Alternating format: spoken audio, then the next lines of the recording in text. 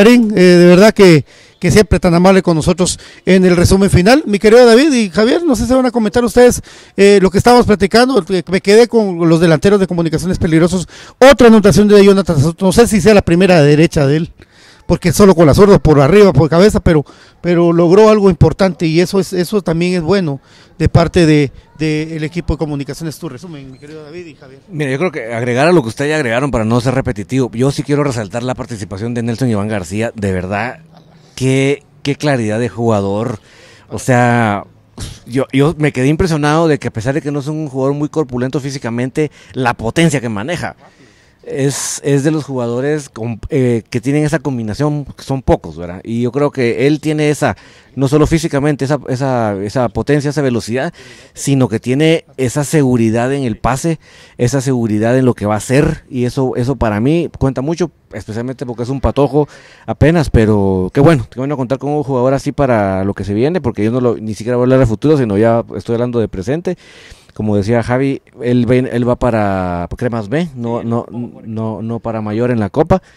Pero enhorabuena, enhorabuena, porque yo creo que lo que se necesita acá es que los jugadores vayan teniendo esas experiencias de roce, y eso es lo que quiero resaltar yo, además de lo que ustedes ya dijeron, esa participación de él que realmente, yo sin, sin quererle echarle más bulla a la cuenta, creo que sí revolucionó el partido lo que se estaba jugando.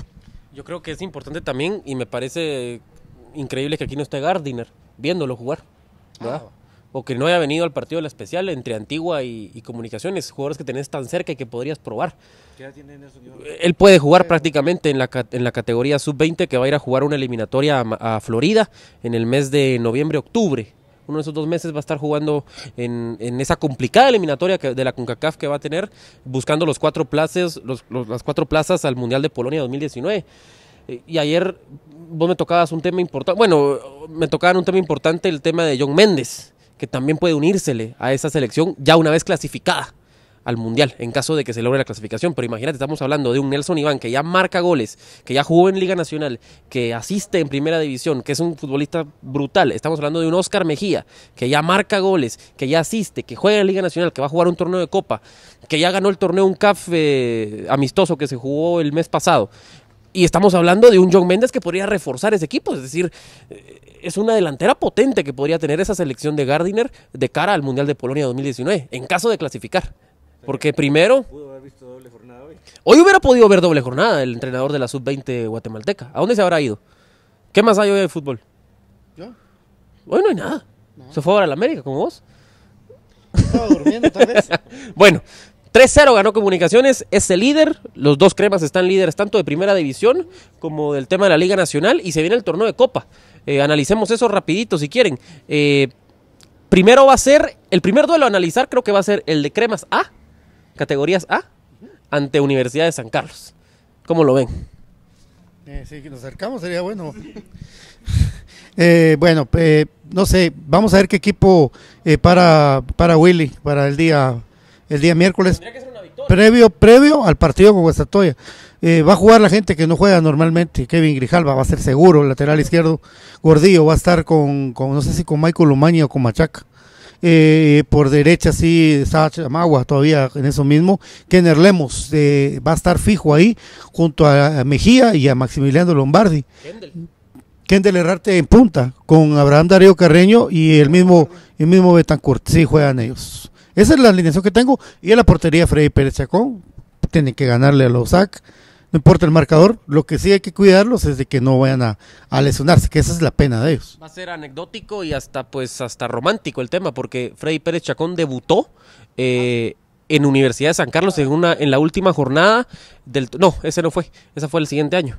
Ese fue el siguiente año en la última jornada de clausura 2015, el año del EXA, el torneo del EXA. Y ahora va a volver a jugar tras mucho tiempo, porque ¿cuánto tiene Freddy Pérez Chacón sin jugar? La última vez fue contra Cobán en el Mateo Flores, ¿verdad? En el Estadio Nacional con Ronald González todavía, imagínate. Ya pasaron días de eso. Ha estado lesionado, ha estado en duda, ha salido Arnold a la banca. Y luego pasemos a analizar el tema de Cremas B antes Sanarate. Partido de ida, el regreso de Wilson Lalín, ¿verdad? Ese enfrentamiento con Morbo porque Sanarate fue el que no quiso reprogramar un partido tras el sensible fallecimiento de Misael Saquiché. Eh, creo yo que eso le, pone un, tanto de morbo a ese duelo a jugarse aquí en la ida y yo creo que los jugadores, por lo menos los que sobreviven de esa generación, Coto, Moscoso, Lemus, eh, Pelón, Ojeda, eh, hay muchos otros. Creo yo que van a querer jugársela todo por el todo en ese partido que nunca se jugó y que debió haberse jugado. Sí, la, última vez que, que Sanarate estuvo acá, eh, precisamente en el torneo que subieron 1-0, gol de, de aquel brasileño y de Barbosa, de Evandro Barbosa. Y al final también ver qué prioridad le va a dar ese equipo, porque están mal en la liga y, enfrentan a un equipo fuerte, los líderes de, del ascenso, entonces hay, hay ahí para competir bastante.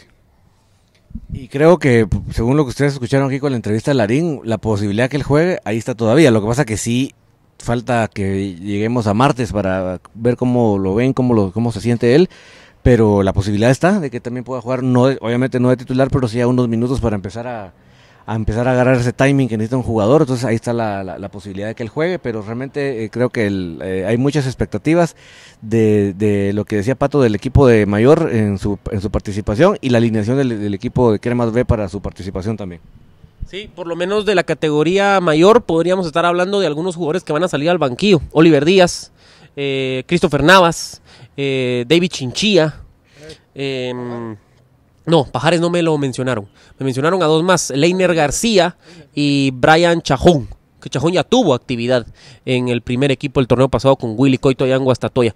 Entonces, creo yo que por lo menos el primer equipo de comunicaciones va a salir con un 11 muy competitivo, un banquillo por ahí con muchas promesas y Cremas B va a salir creo yo que, lo que con lo que vimos hoy. No creo que, que Iván Franco Sopeño eh, utilice variantes para un torneo de copa ante un, rival que no te va a dar un respiro, como Sanarate. ¿Verdad? Que si puede venir a ganar acá, te va a ganar acá. Por supuesto. Lo que sí es que después decir que el Cremas B anda en buen nivel. Eh, se jugó un amistoso, digamos, de ahí no se mete tanto. Pero igual el orgullo, el uno por uno de un tiempo de, de Cremas A contra Cremas B, el último juego amistoso, lo cual demuestra que Cremas B está para competir. Yo, yo no miro lejano que, que vaya a pasar con Sanarate. Le va a costar, sí, sobre todo el juego de vuelta. Bueno, nos vamos. Ya, mi querido Bueno, un saludo a todos. Feliz tarde y gracias por compartir con nosotros. Ganó Cremas B 3 a 0. Ganó Cremas B 3 a 0. Gracias, Pimpón. Gracias a toda la gente por estar con nosotros en la transmisión de Cremas Digital Infinito Blanco. Soy puro crema. Todos por amor a la camisola del club más grande de Guatemala, Comunicaciones.